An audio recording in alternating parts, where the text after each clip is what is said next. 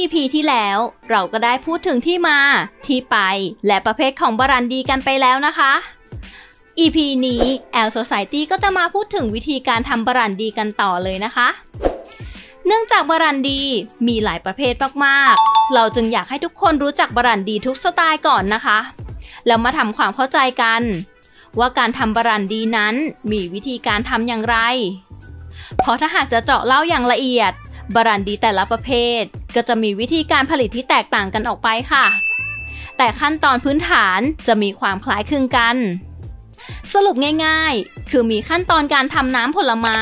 หรือเตรียมวัตถุดิบที่จะนำไปทำบรันดี ขั้นตอนการกลั่น ไปจนถึงขั้นตอนการเอทและเบลนด์ค่ะ ขั้นตอนการเตรียมวัตถุดิบ เป็นขั้นตอนที่จะต้องนำผลไม้มาแปลงเป็นวัตถุดิบ เพื่อให้พร้อมที่จะนำไปสู่ขั้นตอนการกลั่นอีกรอบหนึ่ง โดยบรั่นดีแต่ละชนิดก็จะมีขั้นตอนการเตรียมที่แตกต่างกันออกไปค่ะ เช่น หากเป็นบรั่นดีจากเชอร์รี่ ผลเชอร์รี่จะถูกนำมาทำเป็นน้ำผลไม้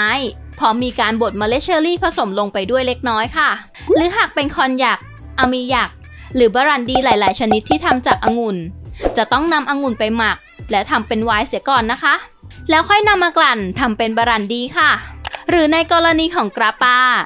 ก็จะสามารถใช้กากวายนำมากลั่นได้เลยค่ะ ขั้นตอนการกลั่นนับเป็นขั้นตอนที่สำคัญที่สุดเลยนะคะ เพราะมันจะเปลี่ยนวัตถุดิบต่างๆ ให้กลายเป็นบรันดีเต็มตัว โดยส่วนมากแล้วบรันดีจะถูกกลั่นโดยคอรัม distillation โดยจะกลั่นเพียงแค่ครั้งเดียวเท่านั้นทำให้เหล้ามีปริมาณแอลกอฮอล์ 40-50%แต่ก็จะมีบางประเภทที่มีการกลั่นแบบพิเศษ เช่นคอนยัก ที่จะทำการกลั่นสองรอบ โดยใช้วิธีการกลั่นในหม้อทองแดงอันดั้งเดิม ซึ่งจะทำให้คอนยักมีดีกรีแอลกอฮอล์มากกว่าบรั่นดีทั่วไปประมาณ 60-75%เลยล่ะค่ะ หัวใจของการกลั่น คือใช้ความร้อนในการกลั่น ค่อยๆ ให้แอลกอฮอล์ระเหยออกมาจากน้ำผลไม้หมัก หรือไวน์โดยประมาณลิตรแรกของบรั่นดีจะถูกเรียกว่า Head ค่ะ เราจะขอเรียกว่าหัวแอลกอฮอล์นะคะ ซึ่งจะเป็นแอลกอฮอล์ที่เป็นพิษ เพราะแอลกอฮอล์อะซิโตนและเมทิลผสมกันค่ะ แต่แอลกอฮอล์ที่จะใช้ได้จะเป็นแอลกอฮอล์ล็อตต่อไป ซึ่งจะเป็นแอลกอฮอล์ที่ใสสะอาดกว่า เรียกว่า Heart หรือหัวใจของบรั่นดี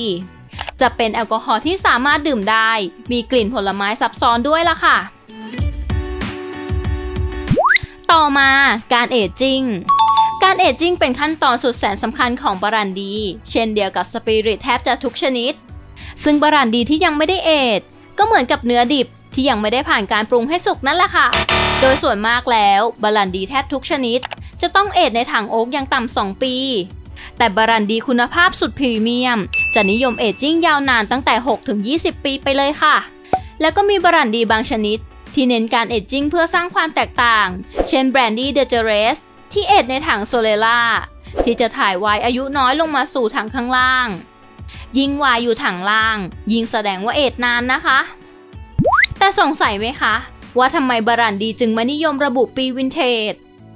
ยิ่งเป็นบรั่นดีชั้นเยี่ยม เช่นคอนยักหรืออาร์มายักไปจนถึงแบรนดี้เดอะเจเรสยิ่งไม่นิยมระบุปีวินเทจเลย ซึ่งผิดกับไวน์แบบสุดๆ เพราะจะนิยมผสมบรั่นดีหลาย ๆ ปีเข้าด้วยกัน ทำเป็นบรั่นดี blend เพื่อให้รสชาติซับซ้อน และสม่ำเสมอกันทุกปีค่ะ เพราะอย่างไรก็ตามบรั่นดีก็ยังเป็นส่วนผสมสุดนิยมในหลากหลายค็อกเทลฉะนั้นความสม่ำเสมอของรสชาติบรั่นดีจึงเป็นสิ่งสำคัญ โดยเฉพาะในการชงเครื่องดื่มต่างๆ นั่นเองค่ะ และความแตกต่างของบรั่นดีกับไวน์คือขั้นตอนการ blend ค่ะ ซึ่งจะทำหลังจากที่บรั่นดีถูก aging เสร็จสิ้น เพราะส่วนมากบรั่นดีจะไม่ได้ระบุปีวินเทจ จึงเป็นความสำคัญอย่างยิ่ง ที่ก่อนจะนำบรั่นดีบรรจุขวด จะต้องได้รับการ blend วินเทจหลาย ๆ ตัวเข้าด้วยกัน กล่าวคือ โรงงานผลิตบรั่นดีบางโรง จะต้องมีวันที่มานั่งชิมบรั่นดีทุกวินเทจ สามารถใช้เวลาตั้งแต่บ่ายโมงจนถึงตีหนึ่ง เพื่อค่อยๆชิม พร้อมกับ blend ให้ออกมาได้ blend ที่รสชาติยอดเยี่ยม และสม่ำเสมอกับปีอื่นๆ มากที่สุดค่ะ แล้วจึงค่อยนำส่วนผสมต่างๆ ของ blend มาบรรจุขวด เป็นอีกหนึ่งขั้นตอนที่หลายคนมักมองข้าม แต่สำคัญสุดๆไปเลยนะคะ แล้วถ้าถามว่าดื่มบรั่นดียังไงให้ได้ feel ที่สุดบรั่นดีเกรดพรีเมียม อย่างคอนยักอาร์มายัก Brandy de Jerez ไปจนถึงกราปป้าคุณภาพเยี่ยมบางแบรนด์ สามารถ enjoy แบบนี้หรือแบบเพียวๆได้เลยค่ะ ซึ่งสามารถใส่แก้ววิสกี้ หรือแก้วบรั่นดี ลักษณะคล้ายแก้วไวน์แต่ขาแก้วจะเตี้ยๆและแก้วจะหนากว่านะคะ ซึ่งยิ่งเป็นบรั่นดีที่ age นาน เช่น VO ไปจนถึง XO จะต้องทิ้งให้บรั่นดีหายใจนานหน่อย เหมาะกับการใช้ความอุ่นของมือวอร์มให้บรันดีมีกลิ่นชัดเจนขึ้น สามารถดื่มแบบไม่มีน้ำแข็ง ไปจนถึงดื่มแบบ on the rock ได้เลยนะคะ แต่ถ้าหากอยากได้ความอบอุ่น ดื่มหน้าหนาว ฝนครึ้มๆก็อาจดื่มแบบนี้ไปเลย หรือหากอยากได้ความสดชื่นสักหน่อย ก็เพิ่มน้ำแข็งเข้าไปสักก้อนสองก้อน ก็ดีไม่แพ้กันเลยละค่ะ